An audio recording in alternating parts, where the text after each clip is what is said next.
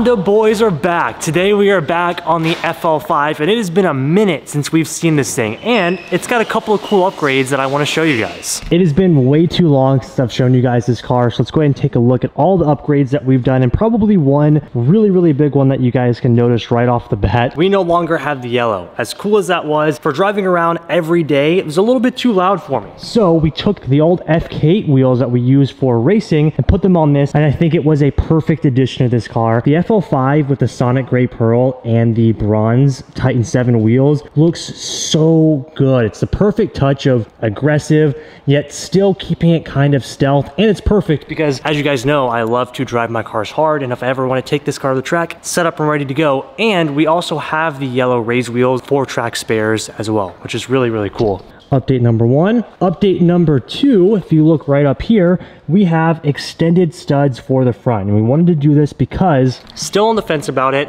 I do have the AP Racing brakes from the FK8 that I'm still trying to decide if I want to run on the FL5 or if we should sell them. So if there's anybody out there that might want an AP Racing big brake kit for your Type R, we are selling one, but I also might keep it and put it on this. And we need extended studs so we can run a spacer and a wider wheel for the big brake kit. So upgrade number two now let's head into the engine bay and show you guys what we have. Assist, please.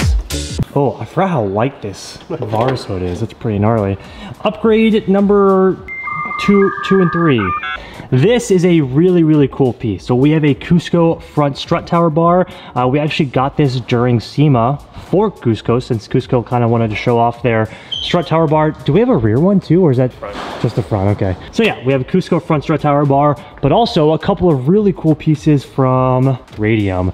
We have a coolant expansion tank right here. We also have dual catch cans, one right here, and then one that goes all the way to the back right here. So a couple of really good kind of like maintenance mods, especially if I'm going to continue to drive this car hard, take it to the track, etc. Those are really good pieces from Radium that we went ahead and threw in the car as well. But like I said, it's been way too long since I've showed you guys this car, and that's because truthfully, I've just been enjoying it. I was very unsure on what I was gonna be doing with the FL5. Like I've kind of said from the beginning, it's turned out to me to just be the ultimate car for everyday use. It is a near perfect car. Anybody that has driven an FL5 or might own an FL5, I know 100% you guys will agree with me. It's just such a good car. Tim can uh, attest to this. I was actually on the fence about selling it, sort of posted it on Instagram, then I went for a drive and there's just 0% chance that I can get rid of this thing because that's how much I love it. And I want to continue to do it just at a slow pace. It's actually been really nice to have a car and drive a car that doesn't have to always be modded for the channel.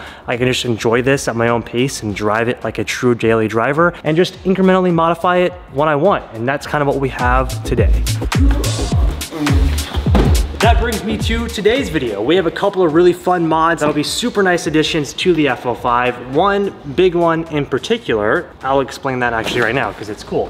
PRL who you guys know we work very closely with on all of our Hondas, actually sent us a brand new intake to finish off our stock box here. So there's two kits from PRL, or at least there was. What we have right now is basically a drop-in filter and an intake inlet. Now, what we're gonna be doing today is kind of swapping that. We're gonna put the OEM inlet back on because with their new and improved box, the OEM inlet actually produces more power. Yeah, it performs Yeah, better. utilizing their box than it does with their actual PRL inlet if that makes any sense at all. So to start our video out here with the FL5, we're gonna be doing a full-blown intake on the car and uh, seeing if it makes any more boosty noises. And obviously it makes more power, but we won't be getting a tune just yet. Let's go ahead and install it. Ah, our OEM piece here. Check out this big juicy box. This is what we're gonna be replacing the OEM box with. This is OEM, and then we have the beautiful PRL. Now, quick update, PRL is also developing a carbon intake box, which uh, we will probably be switching to once that is finished up. It actually has a really cool air tube that goes to the bottom of the car. It goes like down the side, it's really interesting. So it sucks in air right up here and shoots it into your intake. It's gonna be That's exactly what it does. That's gonna sound hopefully really, really good. So first things first, let's go ahead and remove this intake here and we can start installing the new stuff. With a big fat juicy PRL air filter, which is kind of like a signature part by them. They always have big, nice air filter. Well, look at that mega tube, dude.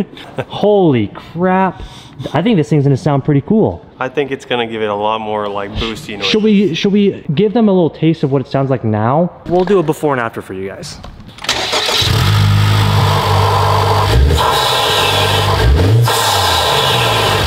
All right, well, that's actually pretty loud. Well, with the hood open, the yeah. hood open, yeah. So if it's that loud with just the OEM box and like this a drop-in filter, imagine what it's gonna sound like with a full proper intake. So it's gonna be good.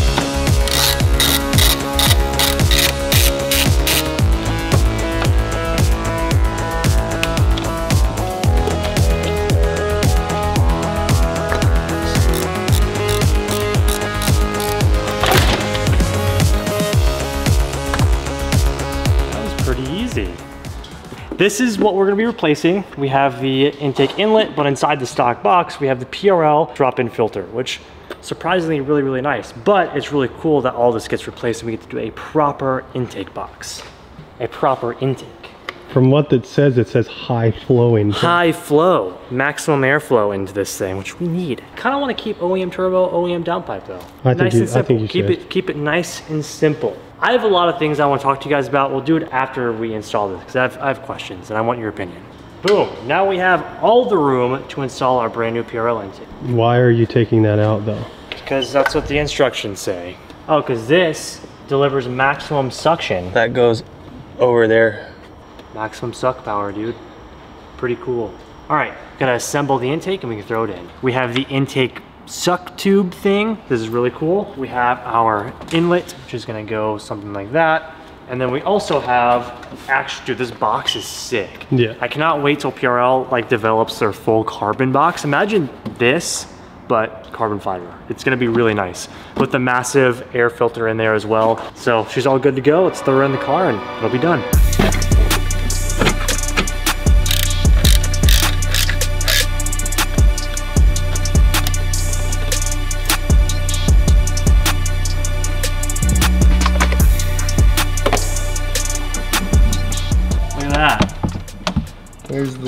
Sucker. Intake. Dang. Oh.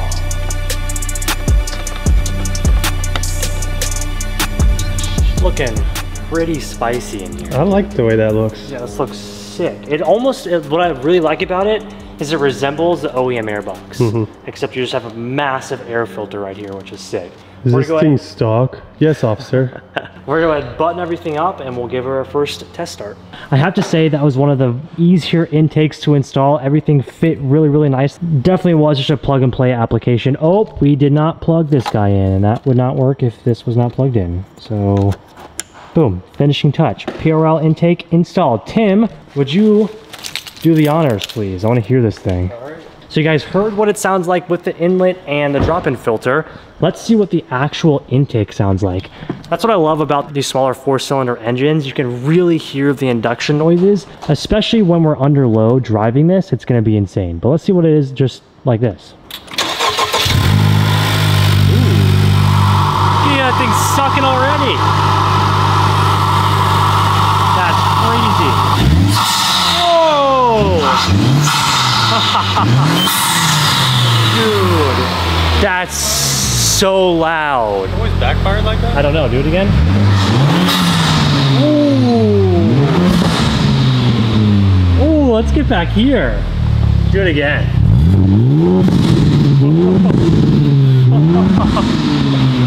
that is sick. Oh my god, that's so loud. This is gonna be insane when we go drive it. Holy crap. Okay, All right, PRL, see you. That is awesome. Part one for today installed, but that's not it. We got one more item from PRL that I think you guys will really like as well, but we've got to head to the rear of the car. the rear of the FL5. Honestly, one of my favorite angles of the car is this right here with the wing. I love the rear end of the FL5. And one of my favorite pieces is the Varis carbon fiber wing. Now, To be completely honest, I have a spoon wing on order. Those things are extremely hard to get right now, and the current order is six plus months out. But while we wait for that, PRL actually has an awesome new modification for all the owners that love the OEM wing, or in my case, maybe some of you guys do too, have an aftermarket wing with the Varis wing. They actually make extended wing stands, which is awesome because you can utilize your stock wing blade, but just make it a little bit bigger. So let's head over to the back. Let's go check this out. So if we come take a look back here, the wing is awesome, but could it be a little bigger? Yeah, if you want a little bit bigger, this is an awesome option for you. What makes these really cool is not only does it extend it, I mean like that's pretty big. That's that's a lot of that's a lot of space. Not only does it extend it, but it's also adjustable. So you can like modulate your wing blade up or down effectively giving you like essentially more downforce. So that's pretty cool. We're gonna go ahead and end our FL5 video with these awesome PRL wing risers and see what it makes the new Varis wing look like. While I was installing the PRL intake, Tim was actually working on back here, getting all the plastics out. Again, with pretty much everything PRL, this is just another super easy plug and play option. The bolts are actually just right here. It's three bolts that hold your wing in. Take those off, take the current wing stands off, and you can replace them with these guys. So step one, let's get our current wing off.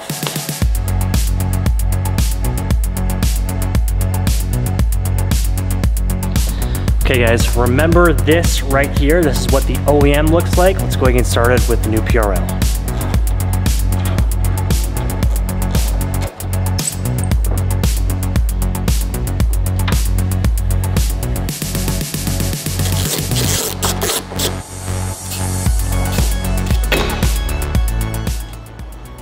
That's a, that's a pretty big difference there. It's just huge.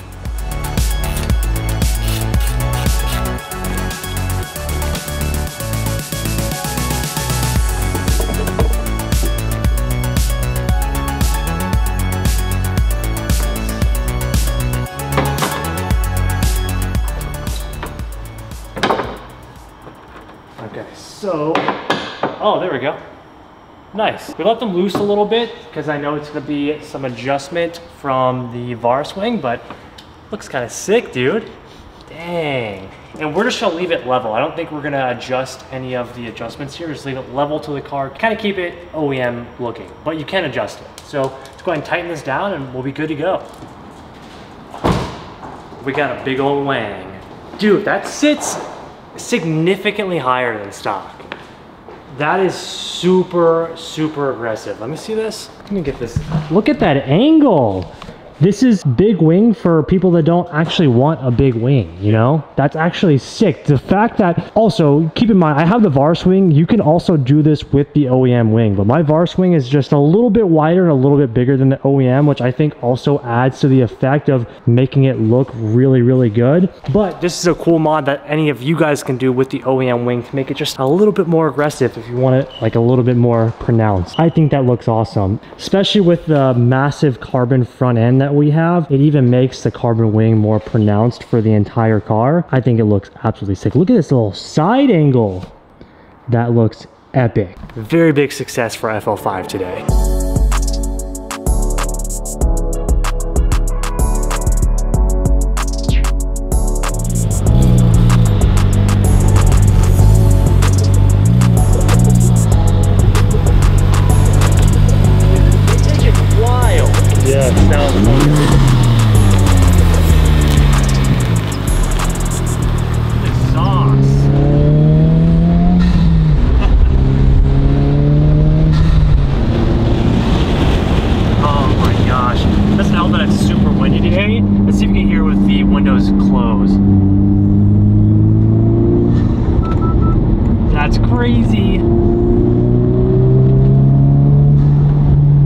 It sounds so cool. Definitely gonna get that check engine figured out, but other than that, the car feels awesome. Definitely a big win on the mods day. Let's get her back to the shop now that she's all finished up. Also be good. Let's get some let's get some sound here. Oh my gosh.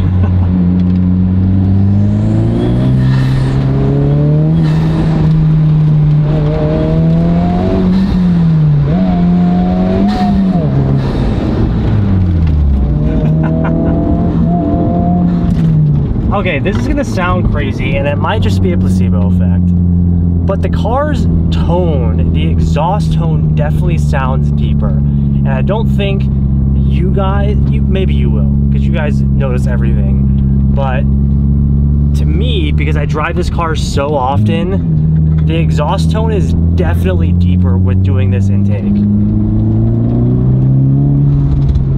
And I love it. Before we bring her out, I don't know, I've been on such a Type R kick lately. I am absolutely loving the FL5. The new wing, spot actually really, really, oh, we left some tape on it right here. What do you think? It's very Do you know nice. what I This did? very Do you know what I did though? Can you tell? Is it these? Yes, we did yeah, wing I can tell. I can tell. It's sure. sick, right? My favorite view of it is the three quarter shot here. I don't know if the, you'll be able to pick it up on camera, but oh, it makes it look just a little bit spicier. Not too much, but just a little bit. It's like super. So honestly, what was it before? It was lower. It's just a, Is that it's a, what it it's was? a wing riser. Okay, okay. It looks way better. Like it looks like how it should look. Yeah, Does right? that make sense? It's pretty dope. I'm stoked. It's just the little things on this car that make such a big difference. And Perf daily. it is. It really is. That's what I said. Yeah, you know. And I've been enjoying like just because it truly has been just the daily. I only drive it just to go around town and stuff, but it's been amazing. And I did have a question for you guys. I want your opinion on the carbon hood. Now we left it carbon for SEMA. Dude, you gotta leave it. What do you leave mean? it? Why don't paint it? a question? 'Cause I No. kinda wanna What, paint are you it. Nuts? no, because because it brings out like it flows with the wing and You're the hood. right. No, come But on. also I no. could paint the wing. No. Immediately. okay. And what would you paint? what I'm would you curious. The same color. No. No? Not at all. Okay, we'll leave it for now. not I'm- at all. I still want to hear what you guys uh, what The you guys have to say. Agree with me. Okay, we'll see. Please agree with me. No, I am absolutely stoked. This is definitely gonna hold me over until the spoon wing comes in a year from now. But uh, I think it looks really good. yeah, it's, there year you go. from now? Let's get a little back shot real fast. It like angles it back. Oh, I heard that. Come on. That's what he said. That is. Oh, down It here. literally, yeah. Down here's the shot right here. Yeah. That's spicy. That is good. Ah, the Everyone that has this car should get the wing risers because it looks so good. I didn't even see it from this angle, but That's sick. I'm I'll leave a link to PRL down below for you guys. But yeah, very, very awesome install for today. And we get the intake, the little power mod. Oh, you need to hear the intake. That's cool too. All right, you guys know me. I love movies. I love film. We're going and having a little movie night tonight. But before that, we're gonna go a little cruise in the Type R and go get some sushi. What's this? What are we going to see? It's called Civil War. Oh, actually, uh, speaking of that, It's I need to show them this. All right, the catch about tonight's movie night. Okay. I asked everybody on Instagram what we should go see. So the poll was Civil War or The First Omen. Oh, thank God, because I hate scary movies. and you guys on Instagram chose uh, Civil War, which, Oh, completely honest, I wanted to go see The First Omen. I love horror films, but Civil War also looked really, really good, and you guys said Civil War, so that's what we're going to see. Comprehensive movie review coming soon, but first, you guys are coming to Sush with us. Also, shout out to my new iPhone.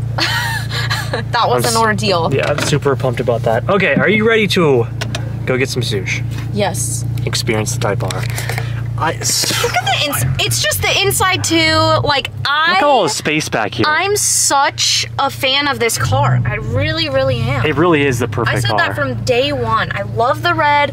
You have your little badge. So- I also like the color that you got though. the Sonic Gray. Yeah. You don't see you don't see them. What they don't know is before I bought this car, we had wanted red first, Yeah. white, and then after the red and white, I was just gonna take whatever was available. And uh, obviously, we got the Sonic Gray Pearl, but I'm super hyped about it because I think it looks really good, Hundred and percent. And it's something different. Yeah. Yeah. I'm just gonna start giving normal person car reviews, like a like a non-car person car reviews. It's the ultimate car.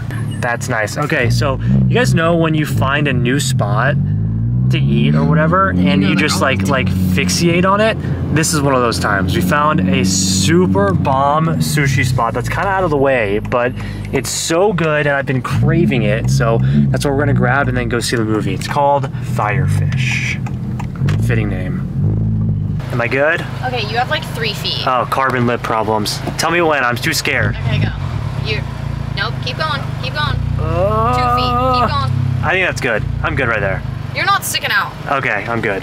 Not trying to wreck my carbon lip, you know? Okay. Also, do you even go to the movies, if you bring your own candy packing all the time. Yes. Look at this prime parking. We got beautiful FL5, but also Integra. Oh, it's really sprinkling here. Okay, let's go.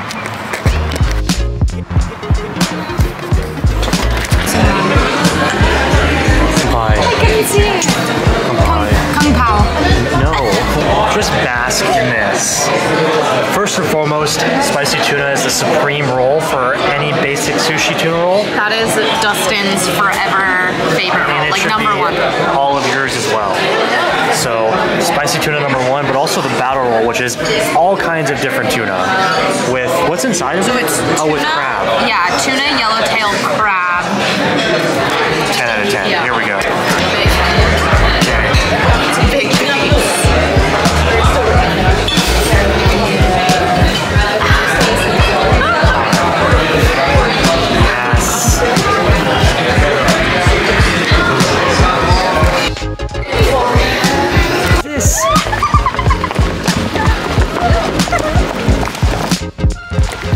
When the heck did it start raining? Well, this is kind of cool because when it's raining, it's like perfect night for movie night. Us Southern Californians are a bunch of weenies, okay? 10 out of 10 dinner. Let's go see how this movie is. I'm and so it- you guys understand, if this movie's bad, you're the ones that picked it. So, Civil War. Honestly, God bless you guys for getting me out of a scary movie. Show Coke acquired. Dude. All of you guys following along. Oh, nice. Okay, we're so late. Started at 7.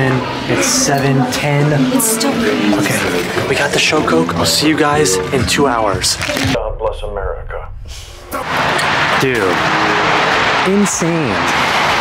excellent film. insane. We gotta do a dot, dot review here. First off, I need to say A24 and Alex Garland don't miss. And this was no exception. Incredible movie. That was not what I expected. It was no, Totally no, different but in a good way. Yeah. yeah. The point of view and the perspective. Also, there's so many good actors and actresses in it. It was awesome. The action of the movie was unreal. It was so good. It was like so close. It was like like I was in war. I was there.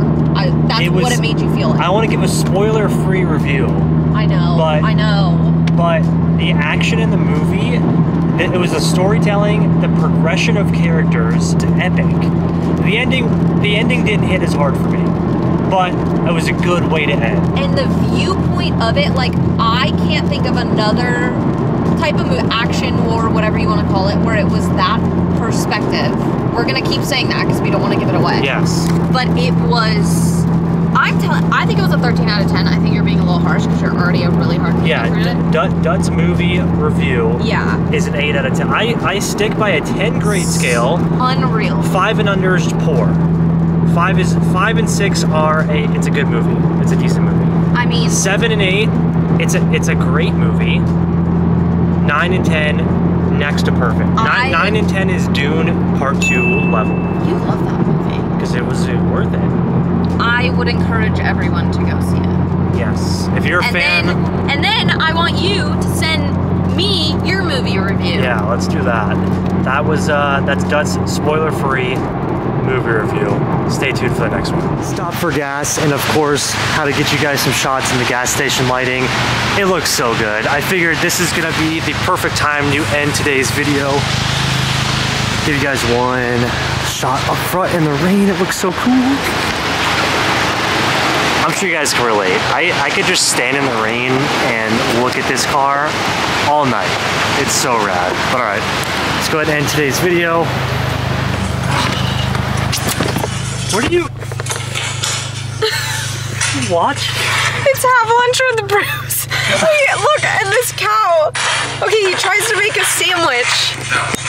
While the All right. Well, this is how I'm sure we're gonna end our night. Thank you guys so much for watching. Go see Civil War if you haven't already. It's really good. Stay tuned for more Dut movie reviews, and also hope you guys enjoyed the FL5 video today. We're gonna go and end this one here. Go back home and spend some time with Sparko. So we'll see you guys in the next one. If you have not already, make sure you hit that like button, leave us a comment down below, and don't forget to subscribe. We'll see you guys for the next one.